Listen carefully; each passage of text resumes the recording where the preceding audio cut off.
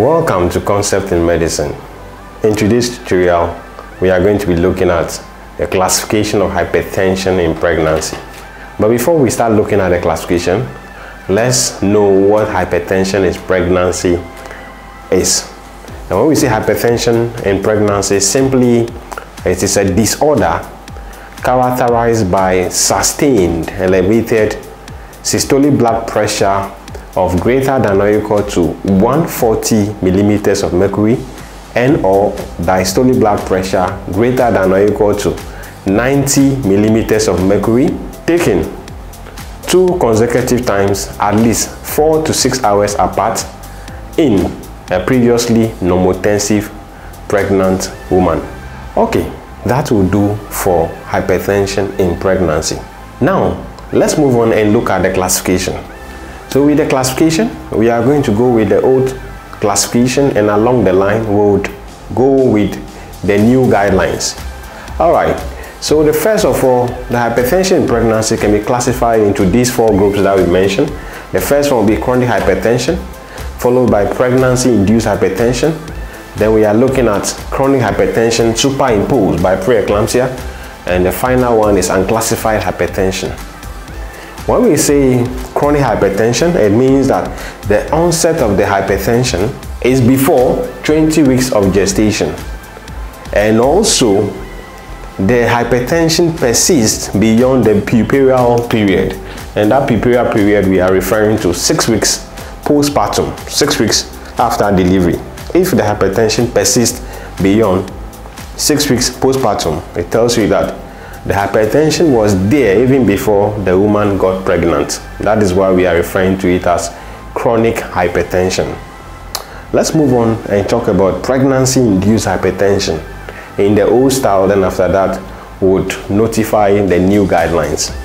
So for the hypertension in pregnancy, referring, referring to the pregnancy-induced hypertension, the onset is going to be after 20 weeks of gestation but for pregnancy-induced hypertension, it does not persist beyond the puerperal period, that is six weeks postpartum.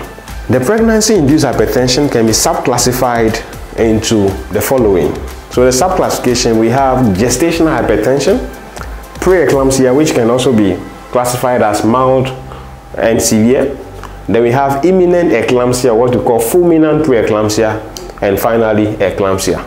But the current guidelines has it that currently pregnancy-induced hypertension is no more used is no more used as a nomenclature. The pregnancy-induced hypertension is now synonymous to gestational hypertension. So when you are referring to gestational hypertension, you are synonymously saying pregnancy-induced hypertension. And for preeclampsia as a whole, whether mild or severe, is now reclassified as preeclampsia without severe features.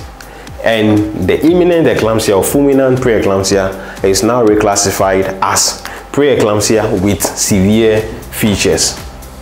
And eclampsia is still eclampsia. Let's talk a bit about the gestational hypertension. With the gestational hypertension, we are still referring to the definition of hypertension and the onset will be after 20 weeks of gestation and it will resolve within the puerperal period. That is gestational hypertension.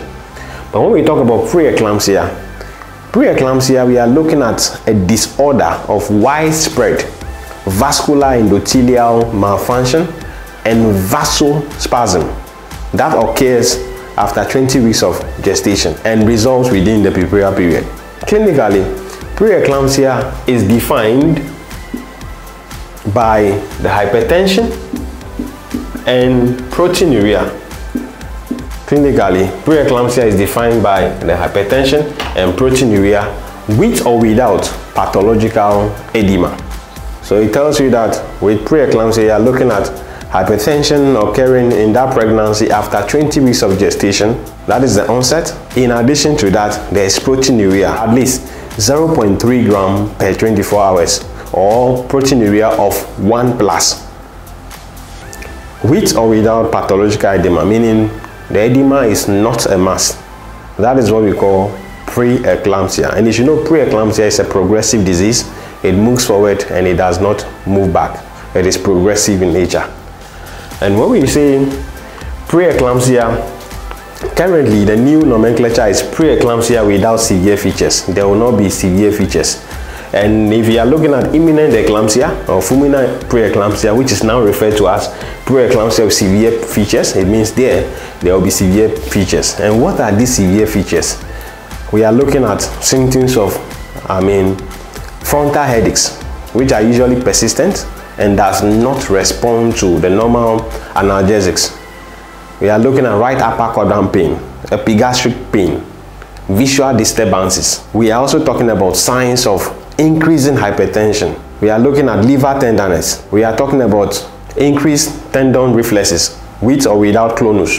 Those are the severe features that we are talking about. If they are present, we are talking about preeclampsia with severe features and that is formerly referred to as imminent eclampsia. And finally, we have eclampsia. With eclampsia, it will be characterized by the hypertension onset after 20 weeks of gestation. There will be proteinuria and also in addition, there will be seizures or fits or convulsions. That is what we call eclampsia. So eclampsia will come with the seizures or fits or convulsions.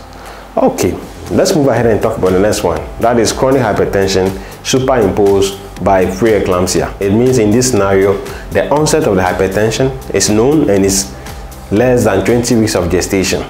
And after 20 weeks of gestation, there was an evidence of proteinuria and that, that brings into the scenario of hypertension with proteinuria. And that will give us preeclampsia. But the hypertension occurring isolatedly before 20 weeks of gestation we will call it chronic hypertension. That is what we call chronic hypertension superimposed by preeclampsia. Then finally unclassified hypertension. And when we say unclassified hypertension it means the onset of the hypertension is unknown the hypertension may happen before or after 20 weeks of gestation, but that onset is unknown. It means in that scenario, patient presents for hypertension after 20 weeks of gestation, either at the antenatal care or at the emergency. And the time of onset is unknown. And in that case, how do you determine the onset so as to reclassify the hypertension? There are two things that can be done. The first one is by looking at the serum uric acid.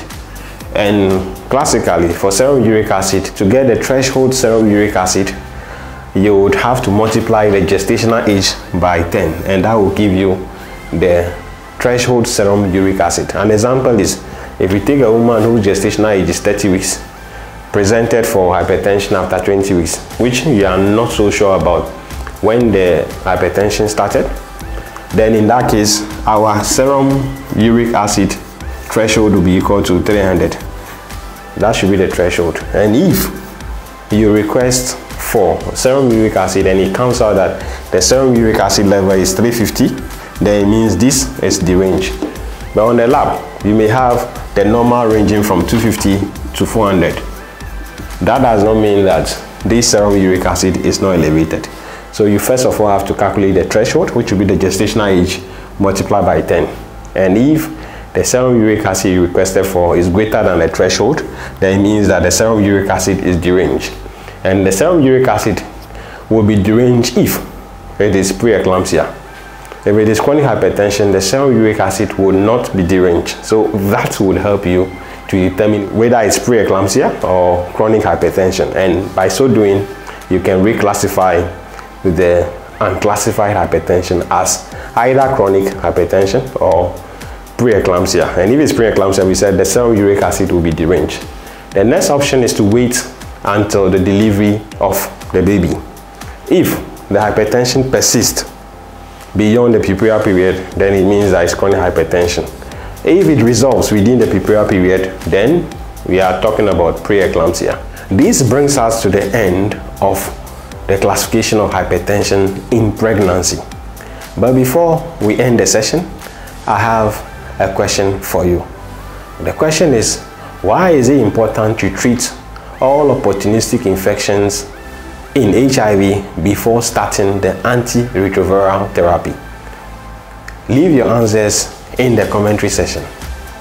Kindly make sure to subscribe to my channel like, share, and also comment the next concept you would like to see in my next video. My name is Dr. Adele, and once again, this is Concept in Medicine. Bye-bye.